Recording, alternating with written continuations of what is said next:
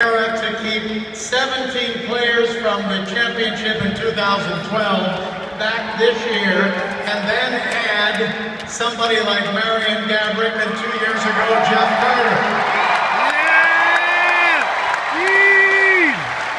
Dean has done a marvelous job building this team. And not just for one year or two, but that we could be back here several more years.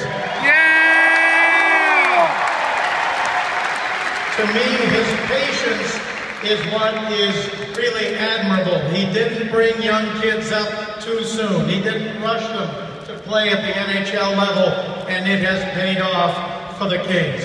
Please welcome President and General Manager Dean Lombardi.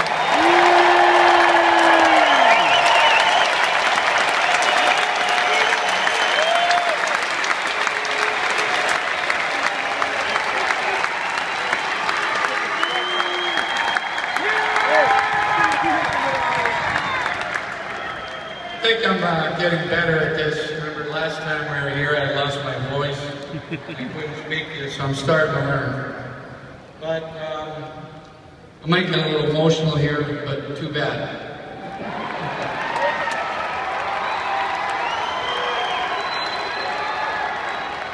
So I tell a story. Um, I think seven years ago, when I came to this franchise, I was gripped by an incredible fear fear of failure. Because I quickly realized that I inherited a franchise with an owner, Mr. Philip Anschutz, committed to winning, and a passionate, resolute fan base that was starving for a championship.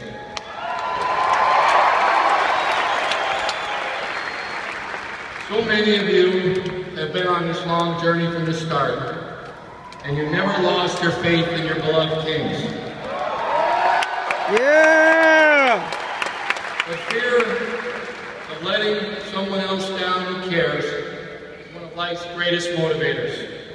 And myself and my staff, we sincerely thank you for instilling in us the passionate resolve to give you the championships you truly deserve.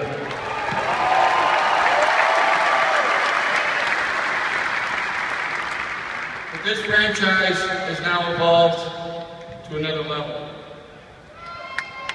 You, myself, my staff are now supercharged by another motivating force. Simply stated, to watch this group of men make a commitment to themselves as individuals to be the best they can be, and most importantly, their commitment to each other. That touches all our souls and transcends their sport.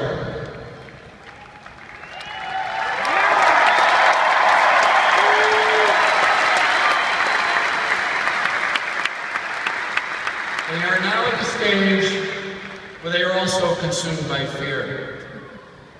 They are deadly afraid of letting each other down.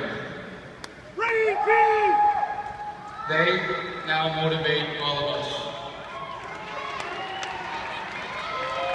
In closing, in the words of the great Lou Gehrig, I feel like the luckiest man in the world.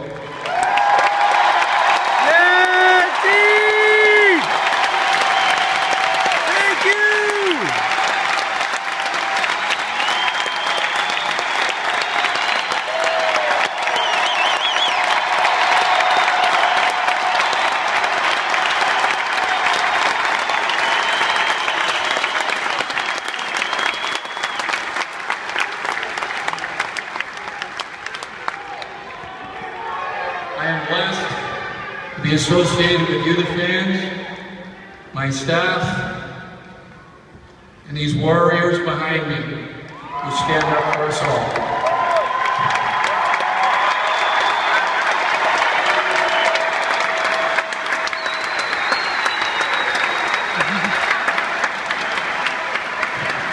I mean it. Now in the tradition of Los Angeles, we're going to do a little game show host here. Pat Sajak. Call, I call up these two contestants, yeah!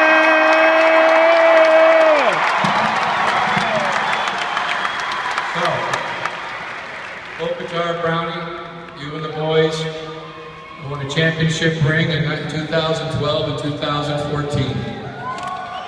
Which one's your favorite ring? The next